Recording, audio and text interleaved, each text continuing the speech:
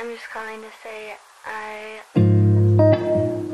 I am so.